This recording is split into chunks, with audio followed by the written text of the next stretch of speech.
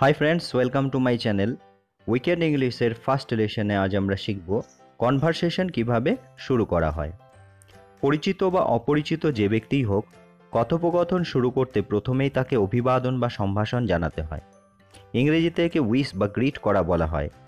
Hello how are you I am fine how about you এগুলো ছাড়াও বিভিন্ন সিচুয়েশনে ইনফর্মাল সেটিংসে কাউকে কীভাবে গ্রিট করে কনভারসেশন শুরু করব বা উত্তরেই বা কী বলব সেগুলোই আজকের লেসনে শিখব। তো চলুন শুরু করি।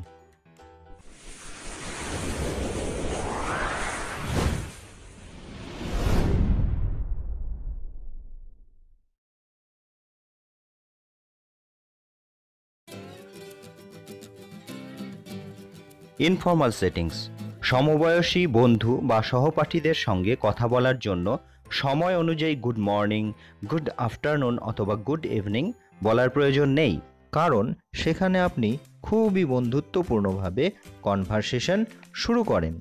সেখানে আপনি হ্যালো হাওয়ার ইউ ছাড়াও অনেক ফ্রেজ ইউজ করে কনভারসেশন শুরু করতে পারেন। যেমন hi hey hey man hi guys hi there এই ফ্রেজগুলি ইউজ করে তার অ্যাটেনশন অর্থাৎ মনোযোগ আকর্ষণ করতে হয়।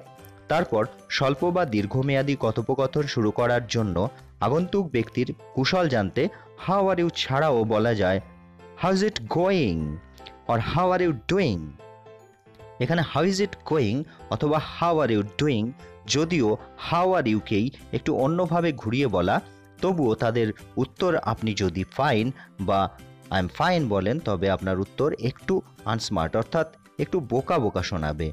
তাই হাউ ইজ ইট গোয়িং এর উত্তরে বলুন it's going well it's going great it's going fine it's going wonderful R how are you doing এর উত্তরে বলুন I am doing well I am doing fantastic I am doing very well how about you doing well and you doing nothing interesting at the moment how about you অথবা not bad casual সিচুয়েশনে আপনি how are UK এভাবেও বলতে পারেন। WhatsApp সব কেমন চলছে বা কী ব্যাপার বা কী খবর?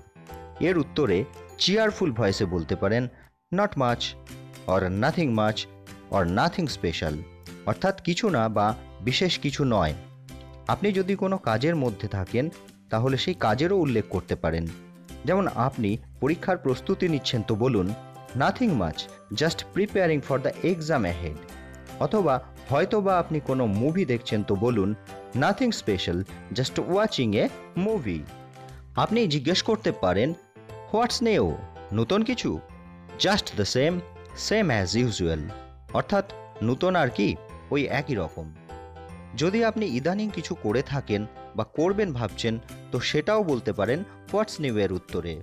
যেমন, আপনি হয়তো কোনো পরীক্ষা দিয়েছেন, তো বলুন I had a test yesterday অথবা কোনো ছুটিতে যাচ্ছেন তো বলতে পারেন I am taking a vacation soon what's going on or what's happening এর উত্তরে আপনি বলতে পারেন not much or nothing much সব কেমন চলছে? হাউ আর থিংস অথবা হাউ ইজ এভরিথিং এর উত্তরে বলতে পারেন থিংস আর গোয়িং গ্রেট অথবা everything is very good how about you how is life অর্থাৎ, জীবন কেমন কাটছে? এর উত্তরে বলতে পারেন ভেরি নাইস অ্যান্ড ইয়োর্স ভালো। আর তোমার? আপনার কলিগ কো ওয়ার্কার ফ্রেন্ড বা ফ্যামিলি মেম্বারদের সঙ্গে দিনে দ্বিতীয়বার সাক্ষাৎ হলে বলতে পারেন how is your day going অর্থাৎ তোমার দিন কেমন যাচ্ছে? দিন ভালো গেলে বলতে পারেন it's going well it's going fine it's going good it's going all right it's going as usual আর ভালো না গেলে বলতে পারেন not so good not so well দিনের শেষে বা কাজের শেষে সাক্ষাৎ হলে বলতে পারেন হাউ ওয়াজ ইউর ডে তোমার দিন কেমন গেল? Not bad or not so well too much work pressure অর্থাৎ ভালো নয়, কাজের চাপ ছিল। এখন যাদের সঙ্গে কিছু সময় দেখা হয়নি, তাদের বলতে পারেন good to see you or nice to see you আপনি আরও বলতে পারেন, আরে অনেক দিন দেখা হয়নি, কেমন আছো?